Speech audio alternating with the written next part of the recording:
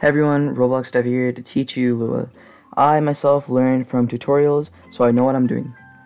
Today I'm going to be teaching you how to script on Roblox from not knowing anything to becoming a Roblox scripter. Um, let's start off with the workspace. This is the workspace right here on your Explorer tab.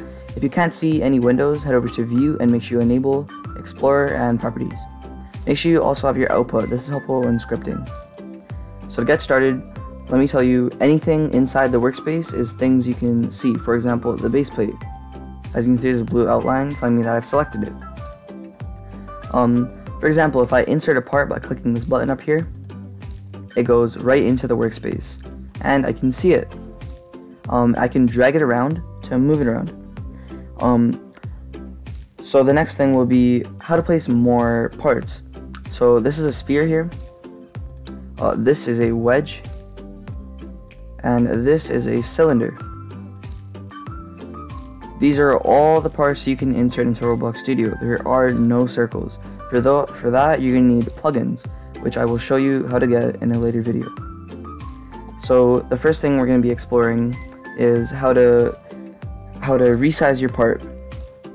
So if we just delete these other ones by pressing backspace on our keyboard, just like that, we can head over here and we can begin experimenting. So to resize your part, head over to home and click scale. Now you can use each of these colored dots to resize the part. As you can see, I can make it bigger.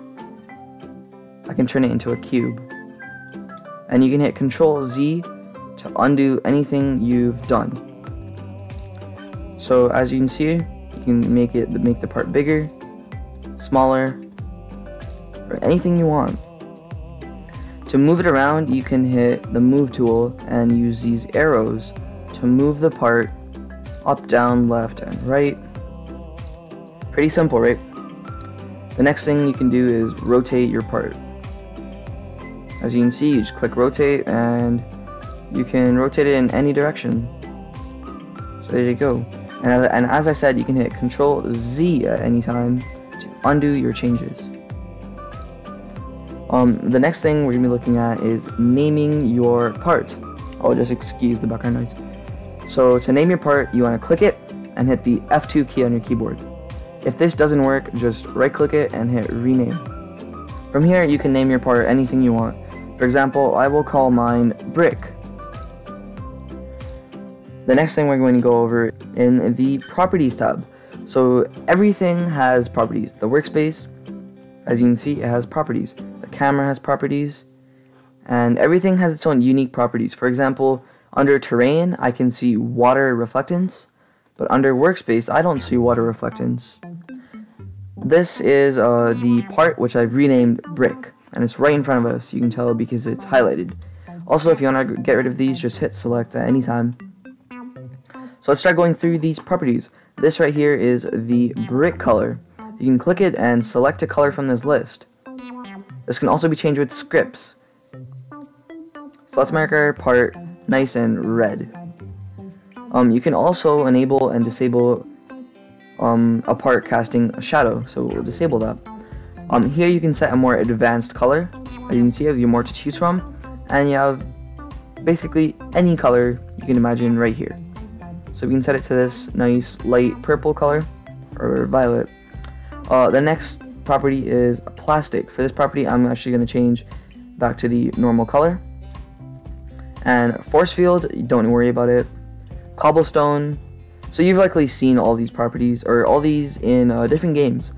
So ice, uh, you have concrete, and essentially it's just all these different, uh, different types of textures you can add to the part. So I think we're gonna go stick with the normal, uh, just smooth plastic. The next property is reflectance. This changes how this changes how how reflectant the part is, so I can make it more shiny to the point where it's just a mirror, but it just increases how shiny the part is. So if you wanted to make a car or something and you want it to be nice and shiny, you could do that with reflectance. Transparency, you can see through parts. So 0.1, as you can see, I can see a bit through this part. To demonstrate, I will get a cylinder, place it here, and make it red. As you can see, I can see the cylinder through this part because we've adjusted the transparency property. If I make it 0, it's completely opaque, you cannot see through it. If I make it 1, it's uh, completely transparent. It's there, but it's just transparent. 0.5, the midway point, you can see it, and you can't see it. Well, you can see it. Um, 0. Point, or 0.1 is just slightest bit transparent. We'll stick with 0 for now. Uh, don't worry about these. Here's where you can adjust the name instead of going here. So that's kind of cool. The orientation, um, as you can see, it's how much you rotate the part.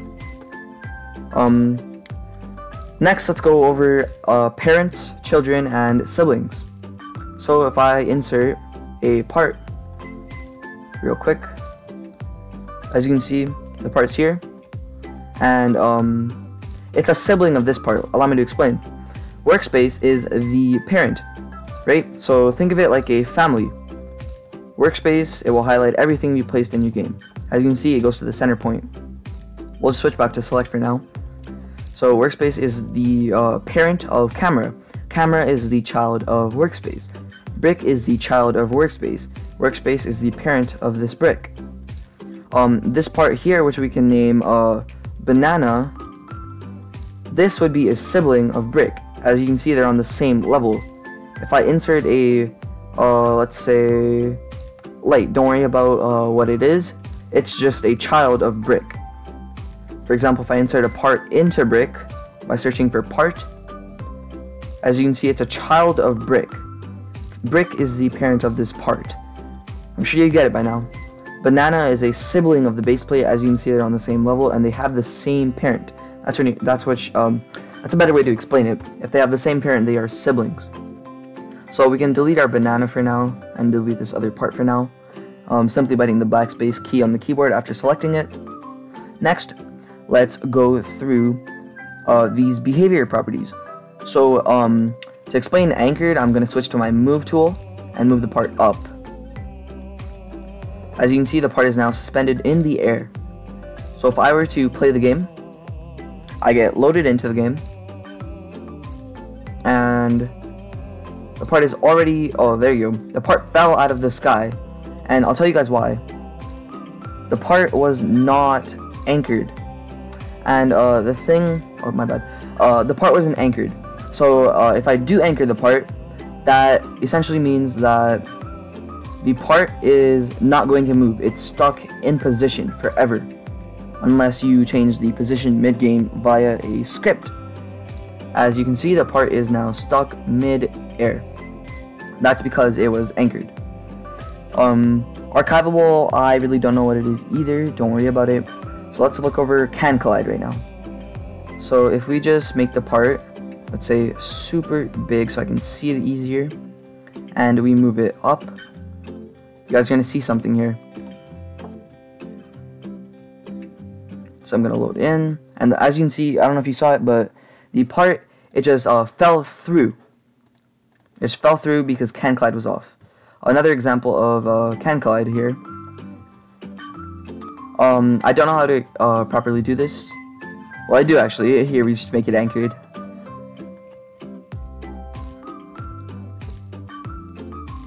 So to explain this better, uh, the part can collide is off, but it's anchored, so it's not going to fall through. It's stuck in position. So I can walk through this part. It does not collide with anything. Keyword collide. So if I were to turn can collide on, also, you can quickly insert a uh, spawn point, and you can put the spawn anywhere you want. Players will spawn there now. We'll just do that to make it a bit faster. That was done through the model tab, by the way. So I spawn here, and can collide is on. I cannot go through this part. So you guys saw how when it wasn't anchored, it fell, and when it wasn't anchored and it had can collide off, it fell through. If can collide is on and it's not anchored, and we make it a, a bit smaller, Watch what happens here. Now I should be able to kick this part around. Okay, well it didn't. If it was smaller, I'd be able to like kick it across the map. It would be, it would fling and it'd be really funny. Um, next we have uh, can touch.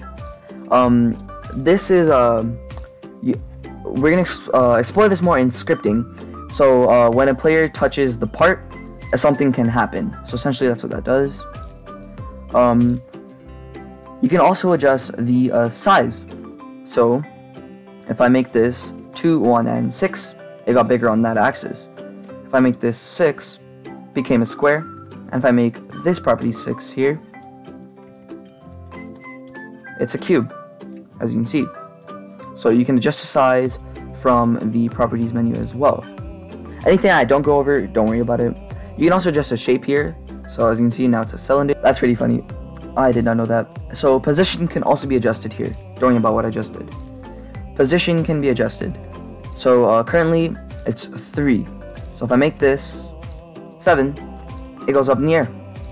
As you can see. If I make this 20, or even 120, it moved uh, over here. If I press Control Z to move it back, it went back. You can see, it went back to 14. Control Y can redo what you just undid. Pretty cool, right? Um, the next thing. This is the part. This is the part you guys have been waiting for. We are gonna insert a script, but first let's learn about objects. Everything is an object. Not these main services. Don't worry about them. Anything here is an object. As you can see, it says search object. You can also press that to open the menu up a lot bigger. Everything here is an object and can be inserted. As you can see, I can insert um, a selection box if I wanted to. So we can insert a script here, and it automatically opens it up. If it does not, what you can do is uh, just double click it, open up the script. So make sure your script is inserted in the workspace. You can also drag objects around to put them in different places. So this script, um, it currently starts with print hello world, don't worry about that. It always does that, you know, just something to put in the script. Uh, let's uh, let's start with printing as you just got a glimpse of it. So uh, put print with two brackets and essentially what this does is anything here gets put into output. So if you don't have output open already, hit, to, head to view and click output. So uh, anything in these two brackets, it gets printed into output. So for example, if I put uh, two, uh, what are these called guys? Two uh, quotation marks, and then I type, say, banana in here, and I hit play. As you can see, it printed banana don't worry about the Ro-Defender, it's something uh, useful to have. I'll link it in the description. So it printed banana. Uh, so the next thing you can do is um, note in scripts. So as you can see, if I do dash dash, it goes green, right? So if I so if I said, so for example, if I did dash dash, print, and then uh, over here I type what we just typed, print, two uh, two uh, quotation marks, and type in, uh, how about monkey? right? Anything inside here gets printed into the output. So dash dash print, it doesn't really do anything, right? I could like, I type dash dash um this this is better. This is a note or my first note or uh you know you get the point. So you can just note in scripts. It doesn't do anything. It's just there to help you out. So if I ran this, it would completely ignore the notes and print monkey just like that. So if I were to get rid of everything here, and I type print with two brackets, and in here I type in uh, banana, or like uh, yellow, and then I also do dash dash to note, and then I type in print yellow, um, it's only gonna, or if I, here for better example, if I type in banana, right, the I spelled it wrong, but that's okay. It won't print that because it's a note, right? It's just there to help you yourself. It doesn't do anything to the script. So anyway, that's all we're going to be exploring this video. Next video, we're going to be exploring integers and strings and essentially what they are. We already experimented with a string here. And an integer, um, if you've been to math class, you'll know it's, a, it's just a number value. We'll be exploring that more next video. Hopefully you learned something today, and hopefully you do follow this series. You're going to be going from a beginner, noob, all the way up to a pro.